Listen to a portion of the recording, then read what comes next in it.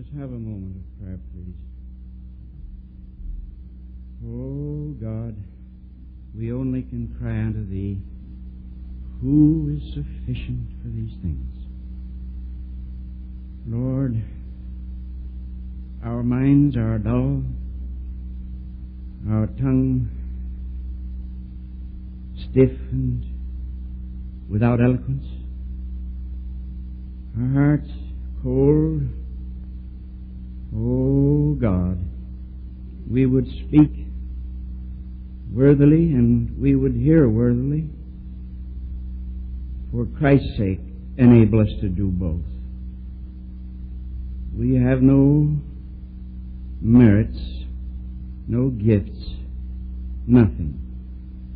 We are before the O Lord as little children. And we pray Thee, speak to us as to children. O God, through Thy Holy Son, Jesus Christ, it's written that nobody knows the Father save the Son. And only they to whom the Son will reveal Him.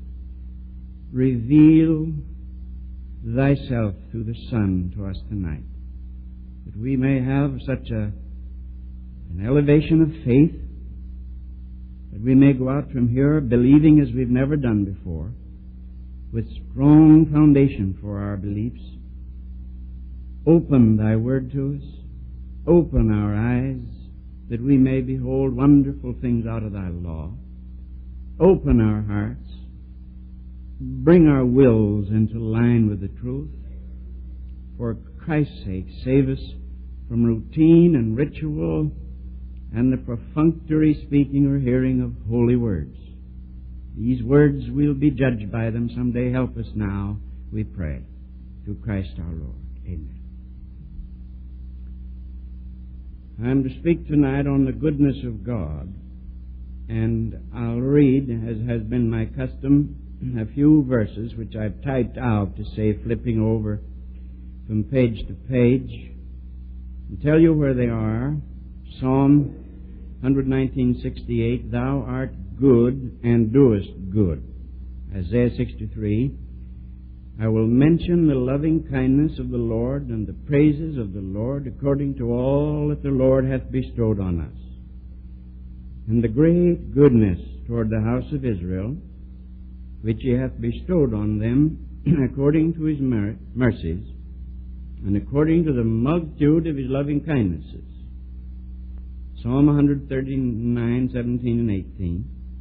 How precious also are thy thoughts unto me, O God. How great is the sum of them. If I should count them, they are more in number than the sand. When I awake, I am still with thee. Deuteronomy 39. For the Lord will again rejoice over thee for good, as he rejoiced over thy fathers. Psalm 36, 7. How excellent is thy loving kindness, O God. Therefore the children of men put their trust under the shadow of thy wing. Psalm 34, 8. Oh, taste and see that the Lord is good. Blessed is the man that trusteth in him. Are the words of our Lord in Matthew 7.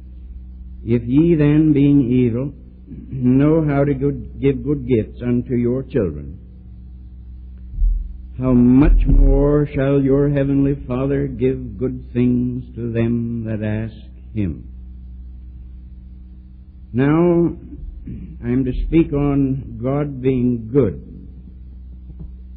And in conformity with my previous sermons, I say that this goodness of God is something which God by revelation has declared to be true of himself. It is therefore an attribute, and it can be unequivocally asserted concerning God, God is good. Now, when we say that God is good, as uh, we've read it here tonight, and I've only read a few texts out of many scores and hundreds. When we say that God is good, we do not mean to say that God is righteous or holy. God is both righteous and holy, but that's not what we're talking about tonight. And to say that God is good and that good doesn't mean righteous and holy, should not be interpreted as coming down lightly on the righteousness and holiness of God. I must speak on the holiness of God before I'm finished, and on the justice of God. But the holiness of God is not before us tonight. Neither is the righteousness of God, the goodness of God in the sense of being righteous. When we talk about the goodness of God, O God, thou art good and doest good, we have in mind something else altogether. For here is what the Spirit is saying. He is saying that God is kind and favorable and merciful and good-hearted and that God is of good will. You'll remember when God, when Moses said to God, Oh God, show me thy glory. God said, All right, I'll show you my glory. I will make all my goodness pass before thee. In other words, the goodness of God is the glory of God. And the Lord proclaimed and said, The Lord, the Lord, merciful and gracious. In Exodus 34. So that the goodness of God is how God is by nature. It means that God is a God of good will, that there is no cynicism in God. That is, God is not sensitive, and God is not resentful, and God is not sulky. There are sulky saints. I've met some of them. And if they can't have their way, they're sulky. And there are cynical people of God, and I've been accused of being a cynic in my time. And one fellow heard me preach, and he went out, and as he left the building, he said, a clinic conducted by a cynic. But uh, I don't know whether he was just being a poet or whether he ever right. But there's no cynicism in God, and uh, God is good-hearted and friendly. Now, I'd like to have this understood. I have tried to show something of the greatness, the magnitude, the altitude, the transcendence, the ineffability of the great God Almighty. And I believe that until we see how infinitely elevated God is in His kind of life and in His being, we will not be the kind of Christians we should be. And we'll certainly not have the kind of conviction for sin there ought to be on sinners. But along with God's ineffable greatness, God is also good-hearted and friendly. Now, uh, God is open and frank and candid. When I am saying these things to you, I am saying only what every Hebrew scholar knows is within the framework of the Hebrew words that are translated good. God is benevolent. And yet I wonder whether I ought to say that God is benevolent, because when I say that God is benevolent, I am only saying and using Latin words to say what I said before and used Anglo-Saxon words. The dictionary is like that, though.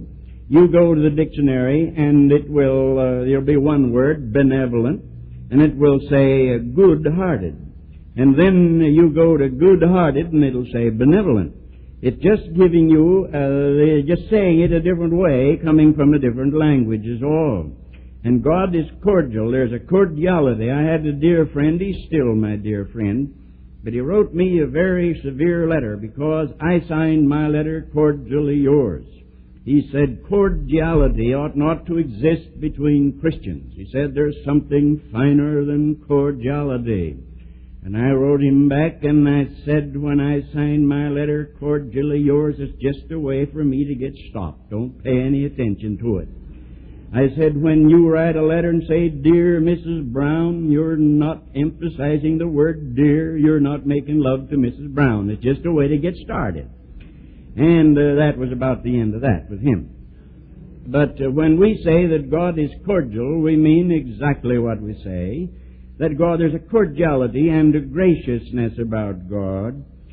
And then we say, when we say that God is good, it's God's nature to be good like that. It's God's nature to wish for you every good thing and to will for you every good thing in time and in eternity.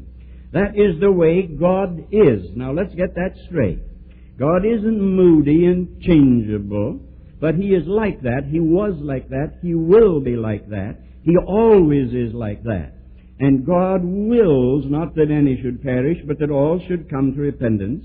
God wills that we should know the protection of the sacred wing of Jesus Christ the Lord. He wills that heaven should be our home and not hell. He wills that we should prosper. He does not look upon our tears except with tears in his own heart. Think not thou canst sigh a sigh, and thy Maker is not by.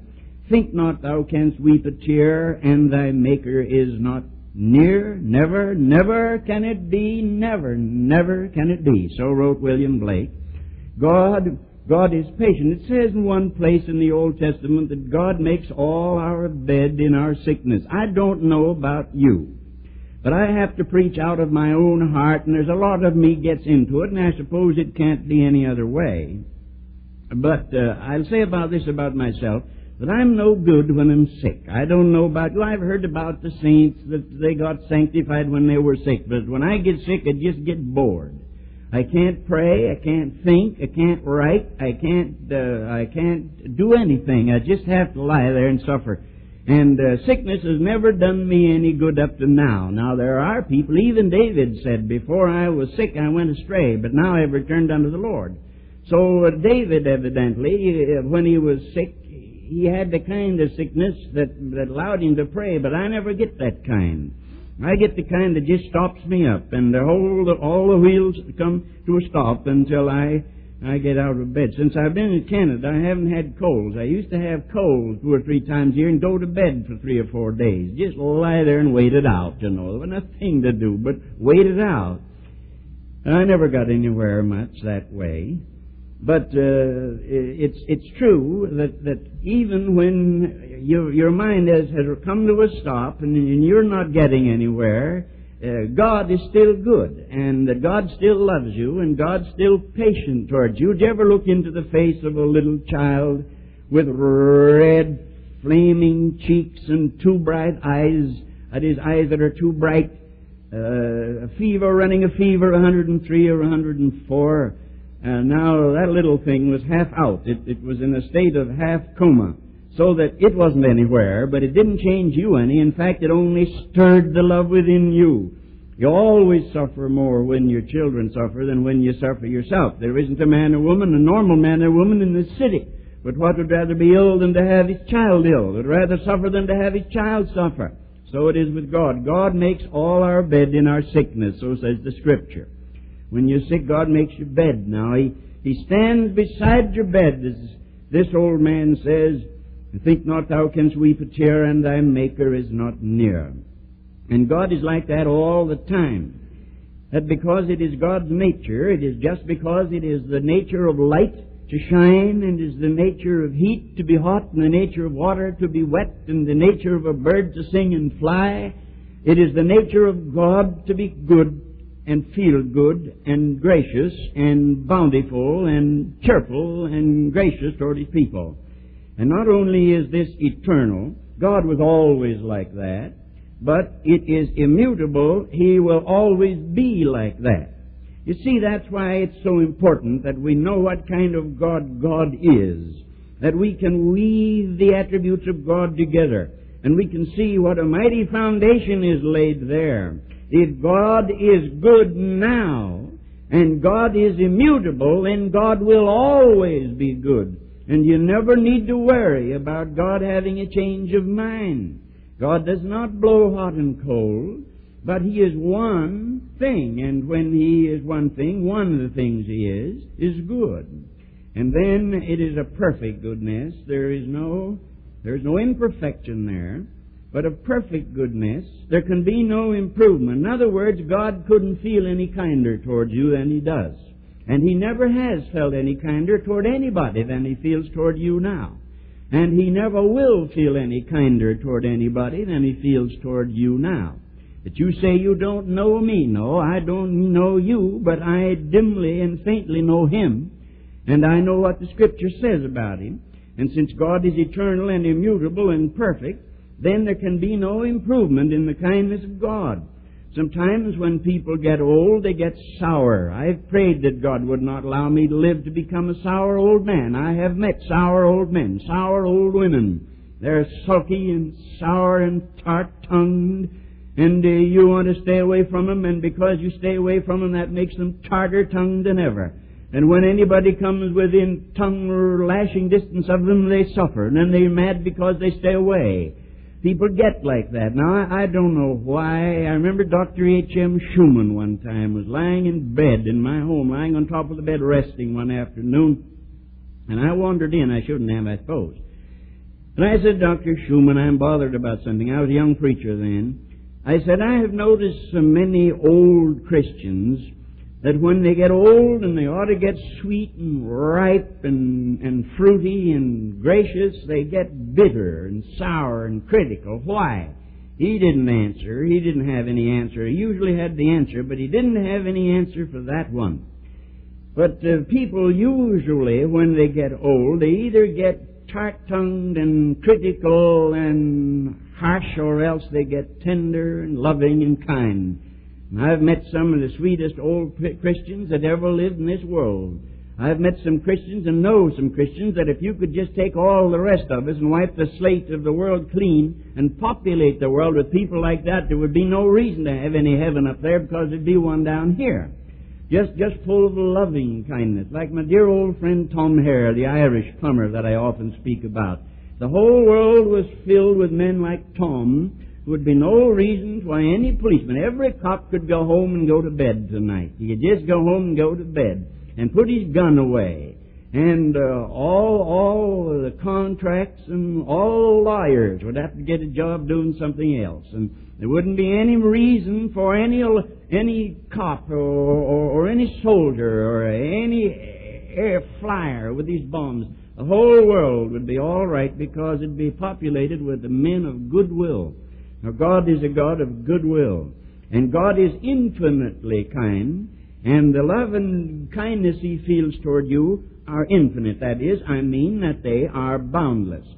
Now, for the sake of the students who may be listening to me, particularly students who may be in universities where they blame us for what they call anthropomorphism. You ever hear one like that before? Anthropomorphism. Well, now that is a long word, and uh, for a few of you who might not know what it means, you know, anthropos is the Greek word meaning a man. And uh, anthropomorphism means uh, that uh, I have made God in my image, that in the image of a man. And that all I do is to take the best qualities in a man and project them upward, and I've got God. If we like to see a kind man, well, we say, all right, then that God up there must be kind, and we project that kindness out of the heart of the man up to God and say, God is kind, and He's infinitely kind, and we, we preach about it. They say, that's what you are, you're anthropomorphic. Well, I've been called worse ones than that, no, but no bigger ones than that, just worse ones. But now, let me explain that a little bit for any of you who may be studying and somebody might hurl at you the charge of anthropomorphism and say that you're anthropomorphic. Well, if uh, what they say is this, that um, you're making God in your image, that God isn't like that at all, that our concept of the Heavenly Father is only a manufactured one, and isn't like that at all. Well, now to answer that, let me tell you this that the man who says that, that God isn't the way we say He is, the way the Bible says He is, he's got to know what kind of God God is and what kind, what God is like. Then he must compare the God whom he knows with the God we say God is, and then criticize us. He says, in effect, now I know that God isn't the way you say He is. And we answer, all right, how did you find it out? You could only find it out by discovery or revelation. When did you discover God so that you can tell us what kind of God God is? And if you didn't discover Him, then you had a revelation. Will you please tell us where the revelation is? What is the revelation? It presumes that the critic knows something about God that we don't know, the Bible doesn't know, that prophets and apostles did not know, that Jesus our Lord did not know, that church fathers and martyrs and reformers did not know, and that they know that we're old-fashioned obscurantists. Now, of course, obscurantism is another word that they hook on to you. They say he's an anthropomorphic obscurantist. Now, if you thought that you were just a Canadian, why, just let me tell you that as a believer in the gospel, you're an anthropomorphic obscurantist. You're all of that. Obscurantist means you cover things up and keep them obscure. But we don't believe that. We believe that sinners cover things up and keep them obscure. And that the children of God do all things in the light.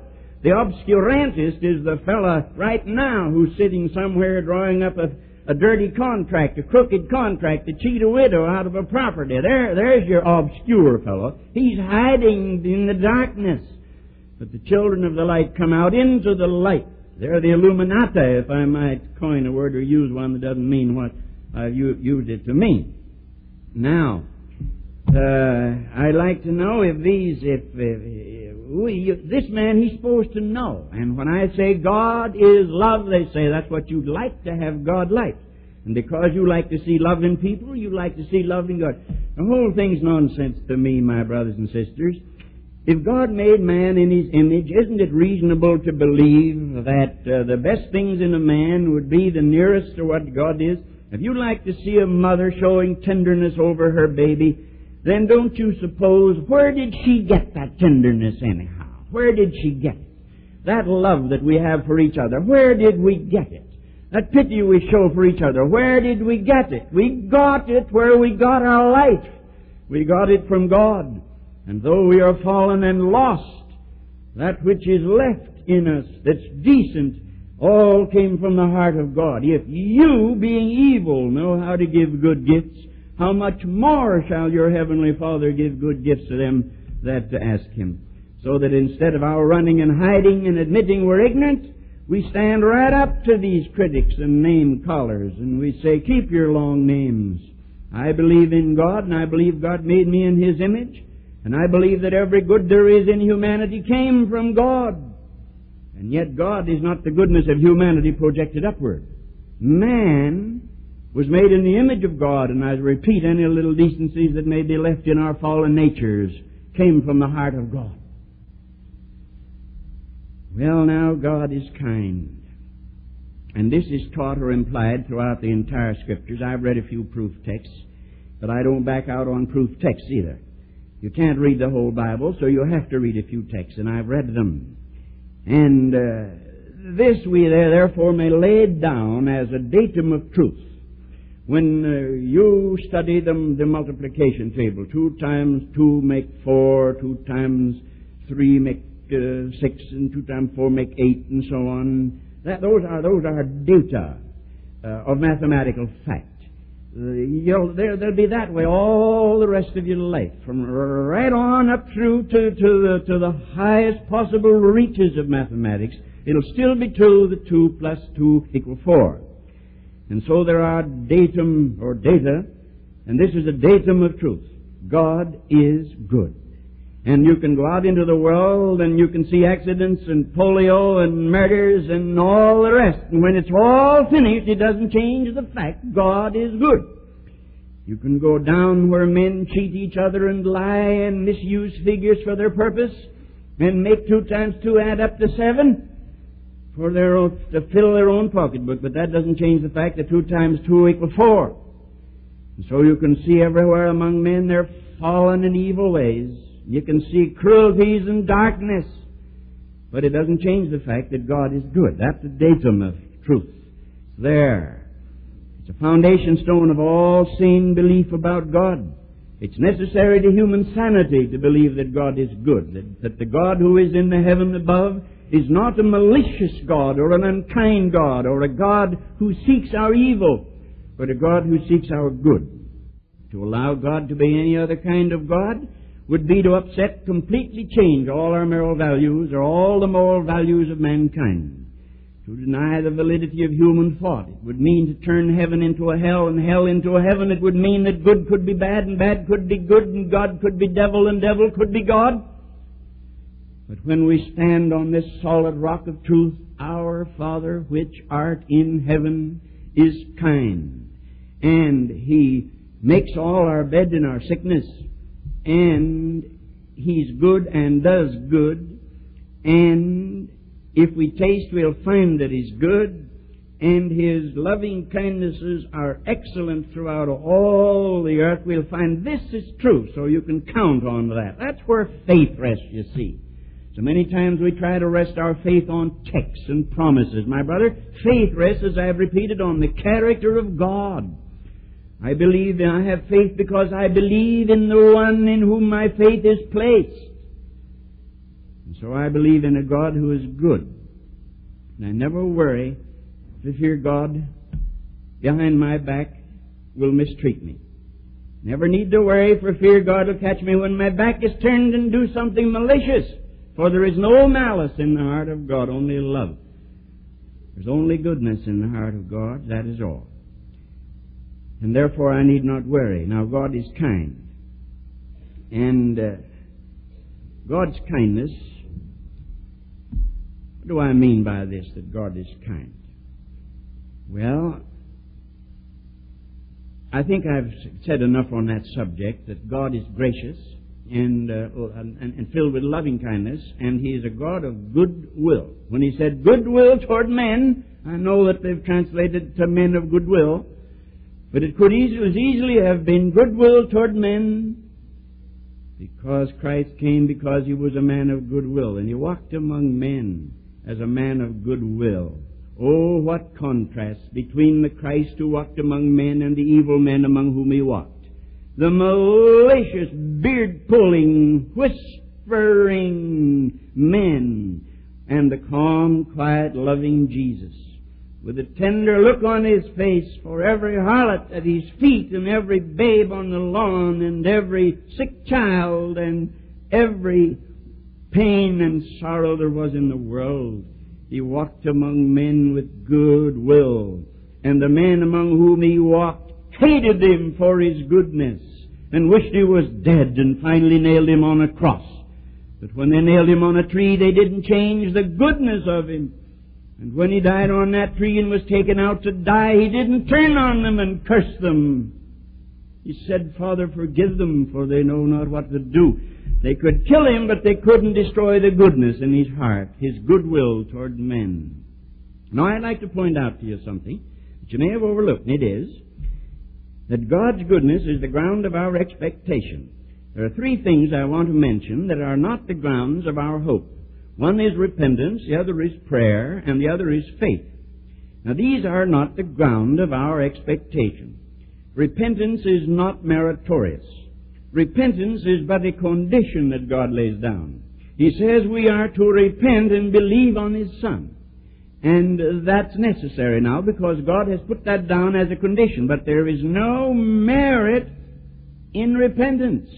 If a man has been a thief for 50 years, there isn't any merit if the 51st year he stops being a thief. There's nothing you don't give, you don't give him a crown. You, you don't, uh, the Canadian government doesn't pin a medal on his chest and say, for service rendered. This noble hero used to steal everything that wasn't nailed down, and now he's quit it. Down, and now he's quit it. And everybody claps their hands, and the band plays uh, Canada forever. No, no, no. You don't do things like that, brother. You don't do things like that. A man ought to stop because it's right to stop, and there's no merit in it. It was wrong to do the other thing. So repentance isn't a meritorious act. And though repentance is necessary, it carries no virtue with it at all. And then prayer is not a meritorious act. Uh, you pray because God hears, and God hears because God's good-hearted toward people. That's why God hears, not because prayer is meritorious. Why, there are people that pray to sticks and stones and scarabs and mummified cats and all sorts of crazy things throughout the whole world. There's no merit in their prayers at all. And uh, God hears not because prayer is good, but because God is good, you see. He hears because He's good. He wants to hear. He's eager to hear. He bends his ear to hear. Because God inclines his ear unto me. That is, stoops down. And one brother used to cup his ear. Old man of God used to cup his ear and say, God stoops and, and cups his ear to hear me pray. Not because the prayer was good, but because God's good. And prayer is the means that God has of knowing that we're ready to receive what God wants us to have. Then faith is not meritorious either. You know, justification by faith. There's a grave danger that we shall make faith uh, uh, meritorious. A great Lutheran preacher by the name of Dietrich Bonhoeffer, whom the, the, the Nazis hanged in Germany because he wouldn't follow their way when on preaching the gospel. Dietrich Bonhoeffer, though he was a German and loyal, uh, though he was a Lutheran and loyal to the Lutheran Church, he wrote a book. I think I saw it in your library, brother. And in that book, I wrote a review on it years ago. Some of you may have seen they hanged their prophet. But this man was hanged for some things he dared to say. And among the things he said was that his church, in their great emphasis upon justification by faith, had made a, an idol out of faith. And they were loving faith and trusting faith. He was right. Now I'm put out, I'm not quoting him verbatim, I'm giving you the gist of what he said in his book. Cost of discipleship. But there is no merit in faith, my brother. You have faith in God because of who God is, not because of what you are. Like this. Suppose that uh, you, in a great hour of, of temptation and weakness, suppose you wronged a man. You wronged a man. Then after you came to yourself like the prodigal, you said, I'm going to my friend and I'm going to confess and make that right. And your wife says, but do you think he'll forgive you? And you say, yes, I know he'll forgive me. How do you know? Because faith in him is a meritorious thing. No, I know the man. I know what kind of man he is.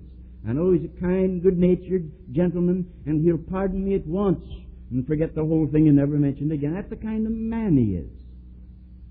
Now, where's the merit lie there? Does it lie in the request for forgiveness, or does it lie in the man who forgives? It lies in the man who forgives, certainly.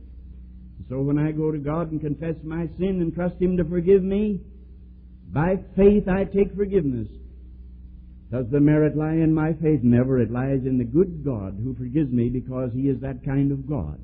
Because He's gracious and kind and, and ready to forgive and, and glad and, and merry and cheerful. All those words are found in the Hebrew original about, about God. Now, what does all this mean to me? Oh, there are so many texts that blossom and flower out when we think of the goodness of God. The goodness of God leadeth thee to repentance, it says in Romans. Oh, that men uh, would serve the Lord and, and speak of His goodness. Especially in Psalm 23 6, I notice, Surely goodness and mercy shall follow me all my days. He didn't say, Oh, surely goodness and mercy will follow me, as though it were a hope that he had in his heart but wasn't sure of. No, that's not the meaning of the text. But he said, Of a surety goodness and mercy shall follow me all the days of my life. Why would goodness and mercy follow a man all the days of his life? Because the God of goodness and mercy followed him all the days of his life. Now, the Lord takes no pleasure in judgment. God has to judge, and no question about that. When I come to the justice of God, as I shall continue to preach on the attributes of God, I must say that God will judge. I believe in the judgment day. I believe that every man shall receive according to the deeds done in the body. I believe there shall be a resurrection of the just and the unjust. And there shall be a resurrection of men unto eternal life and of men unto damnation. I believe that. And yet God takes no pleasure in judgment. The Lord will rejoice over thee for good. But it never says the Lord will rejoice over thee for judgment. He rejoices over us for good because He's a God of goodwill. And in 31 7 of the Psalms, how excellent is thy loving kindness, O God. Therefore the children of men put their trust under the shadow of thy wings. Well, some would scorn all this and doubt it and argue about it and draw back, but others trust under the shadow of the wings of God. A little song I used to hear when I was a boy, in the shadow of his wings there is rest, sweet rest. In the shadow of his wings there is rest. There is rest for, Friend and neighbor, there is rest from toil and labor in the shadow of his wings. And if we'll realize that God is that kind of God, you never need to go away with a hangdog look or a hangdog feeling in your heart. Never. Never need to go away with a sense of in, a deep sense of inferiority. There's quite a difference between real repentance and a feeling of inferiority. That inferiority feeling, that sense, that hangdog sense, that makes you feel, oh, I'm no good. There's no use to pray. I am no good. Of course you're no good, but He is good. And because He is good, there isn't anybody listening to me but that should believe it and dare to take advantage of it. God's door is open. Open for any of His children that have done wrong. Open for any sinner that's not in to come in. Oh, taste and see that the Lord is good. Now, you can experience this for yourself. Taste and see means that you can experience this for yourself. You can learn how good God is. Over the last days, I've spent a little time with the Lord each day, and uh, I have been overwhelmed at how kind God has been to me, how utterly good He's been. Now, you look up and you see a partly bald gentleman here that looks as if he might be a saint, but brother, you don't know me. And you don't know my past, and you don't know my nature, and you don't know my temptations. And you, you just don't know. Don't you get any false ideas about any wax saint here with detachable wings. I just am not that kind of a man. I, if it were not for the grace of God, would be roasting in hell or languishing in jail. If it were not for the grace of God. The United States government would have had me somewhere behind bars long before this.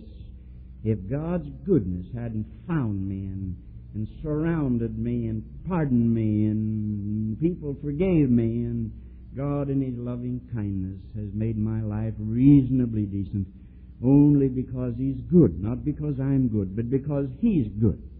Now if that, if that disappoints you, everybody wants a little idol. I remember once over in the state of Pennsylvania at the famous campground called Mahaffey. I was preaching there and a woman came up with her husband, the two of them together and she looked down at my feet. Now I wear ten and a half. But that wasn't what she was looking at. She wasn't looking at that. She said, I was just looking at your feet. And I said, Well, what would be about my feet? Well, she said, I was just wondering if they were feet of clay. She said, I have never had an idol yet that he didn't turn out to have feet of clay. And I said, Lady, I've got them. There they are, right down there. And husband was standing smiling. I said, I have feet of clay. Now she'd made an idol out of me because I was preaching and she was getting help out of my preaching. Never make that mistake. Never learn to love this man so much that he becomes necessary to you. Never love, learn to love me so much that I become necessary to you. No man is necessary to me. Only God is necessary to me. Only God. And so we don't need each other. That is, we don't need each other in that ultimate final sense. Though as a church we need each other, certainly, as I've said many times before. The fellowship with the brethren is the sweetest thing short of heaven. But it's God we need finally and at last. Oh, the goodness of God, the mercy of God. Nobody, nobody can sing about the grace of God with any more enthusiasm than I and with a worse voice. Nobody.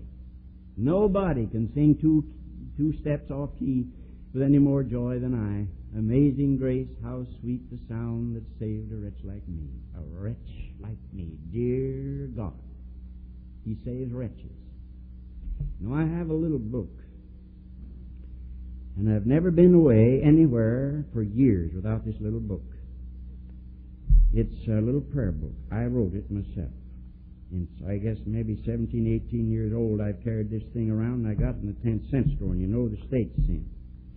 And I write prayers in there. And I have a little understanding with God. One little thing is, because I by nature and conduct have been the worst man that ever lived, I want God to do more for me than for any man that ever lived. And I have a right to ask that. Because where sin abounded, grace does much more abound. And if the goodness of God specializes in hard cases. And if the goodness of God can shine the brighter against the dark sky, I provide the dark sky. Shine on, oh goodness of God. For I'm the dark sky, and I set the backdrop for the shining goodness of God. My dear friend, no matter what your past has been, you can start right now. You can come right now. No matter how how you failed God, no matter how you failed God, you can come back right now. No matter how many times you've backslidden, you can come home right now. And no matter how sinful you are, you can come right now. I've met sinful men. Sinful men. One red-headed young fellow came down to the altar once, and he, I believe he got converted, really do. And I said to him, and he said, first to me now, he said, I'm in trouble. I said, no, you were in trouble? Yes. He said, I'm a Christian. He said, I'm a member of a gang, an underworld gang. And he said, it's a rule of the underworld, you never get out of the gang alive.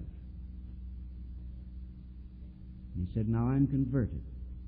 I've accepted Jesus Christ as my Lord and Savior, and I want to go straight and live the right life. But he said, when I go back and tell them, they'll kill me. Boy, that was tough. I sat there with this young chap, maybe 22 years old, 23. Young redhead, I remember. And I said, Red, better die. Better go back and tell them and die. Better let 'em, better let 'em sink your feet in soft concrete and have it set and take you out in the boat and dump you over. Better take you out in a car somewhere and put a bullet in the back of your head and dump you in the gutter. Better die because you found life's summum bonum, salvation through the blood of the Lamb. I said, don't you be afraid of the gang. You go back. I'm sorry I don't have the rest of the story. I don't know what happened. I don't know whether Red went back and told them to put a bullet in him, or whether the great mercy of God found a way. I know another instance where a man came and was converted. He said to me, now, he said, I'm in a jam. He said, I'm saved now, and the story was almost identical. He said, I'm saved now, but he said, uh, I'm in trouble with the law. And he said, I've got to go to the police and confess. And he said, when I go to the police and confess, I, I'm, I'm in the clink. Well, I said, better go to the clink than to go to hell.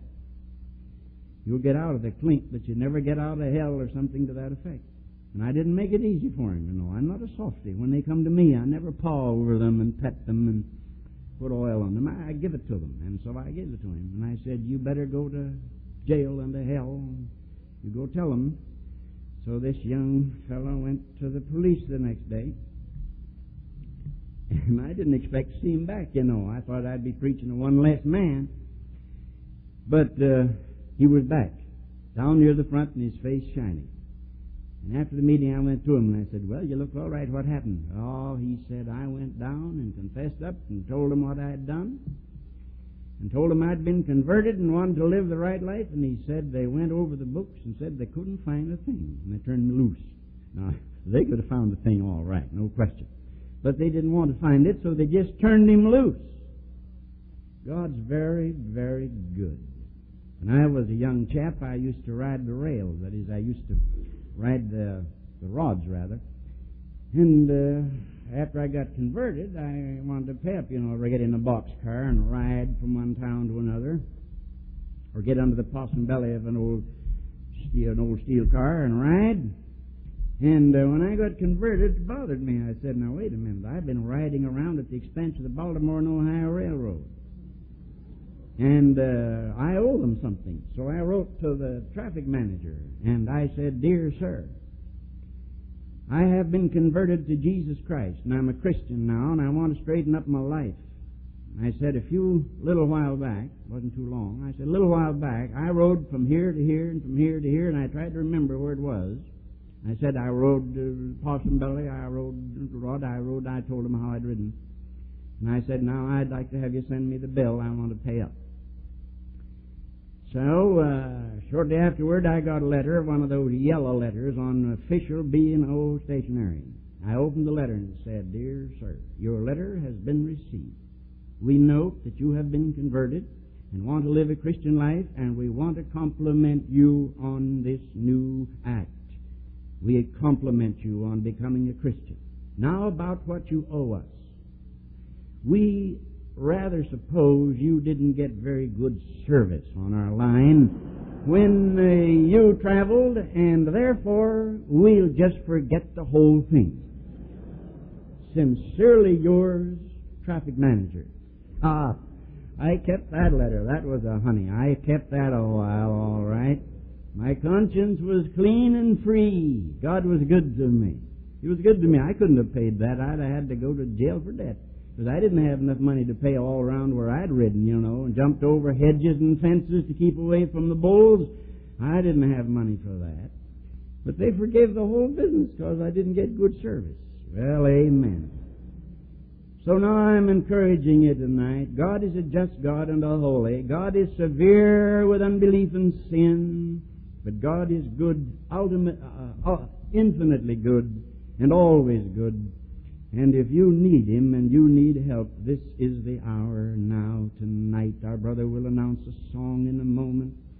And if there's any kink in your life, any crooked thing in your life, any failure in your life, if you've not been a Christian, not become a Christian, or if you've become a Christian and cooled off and slipped away, He is a good God and infinitely kind, and He calls you to Himself.